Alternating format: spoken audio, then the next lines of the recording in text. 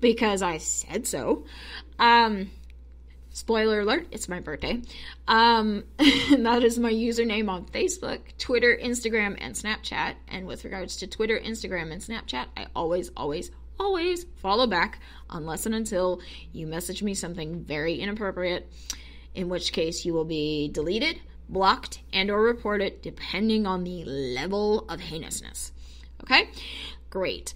PurpleBecca923 at gmail.com is the email address. Hey, I've made it very easy for you to figure out how to get in touch with me. Website still under construction. I've made my coffee as strong as I can make it so that I can focus on it and get it freaking done today, okay? Okay.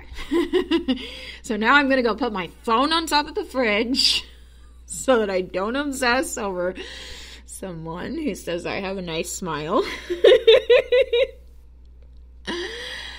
and uh, go about my day. So remember, uh, create what you deserve. Believe that you deserve it and go create it. And then once you've done that, you can fly with the penguins. Yay!